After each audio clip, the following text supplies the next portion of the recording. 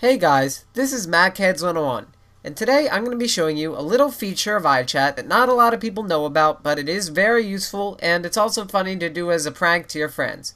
And this feature allows you to make it so iChat will automatically accept video chats, audio chats, screen sharings, file transfers, you name it. Um, and there are actually two ways to do it, and I'll be showing you both of those ways.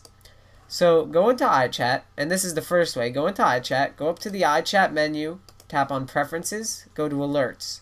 Now, uh, we're going to be making it for this example so it automatically accepts audio chats. So I'll go ahead down to Audio Invitation and check this box that says Run an Apple script. Now, for the Apple script, you set auto accept.applescript. That comes pre-installed on your computer, so it'll all be there. It's all good. Now, uh, our next step will be to have someone invite us to an audio chat. So here's my friend Tovia, and he's going to invite us to an audio chat. So you see right there, he invited, I didn't do anything, and it accepted like that. So it was amazing. Uh, someone, if you did this to someone's computer when they didn't know about it, and then you just invited them to an audio chat, they'd probably be pretty surprised because uh, they wouldn't be expect expecting it. Now, I'm going to end this and I'll also show you there are a couple other things you could do. You could set it for video invitation. You could do exactly the same thing. You could do it for a screen sharing invitation.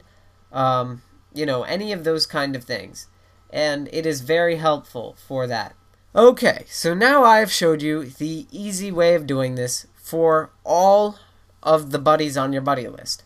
But a common use for this is, let's say you're going out of town and you want to be able to connect to your computer at home.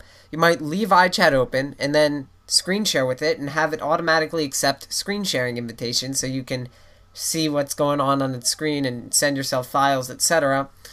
Um, and in order to do this, it's actually pretty simple. You could use this method through the iChat preferences, but then anyone who knows about the screen name could just invite the screen screen name to a screen sharing and see your screen, and that's very insecure.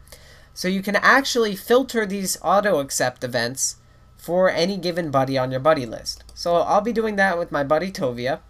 So first you'll right click on your buddy and then go to show info. Okay. And now here's the info window, all nice and dandy. You'll go to the alerts tab and then in this case, we're going to have it for invitation to share my screen because when he asks to share my screen, I want it to automatically accept.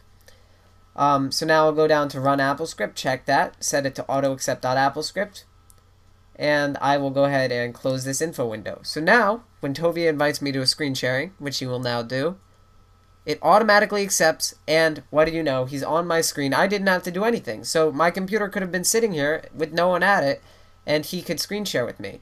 If someone else invites me to a screen sharing, since I did it specifically for him, um, it wouldn't work. It wouldn't automatically accept. I'd still have to accept like normal, which is why this is such a great feature. So that is two ways of doing it.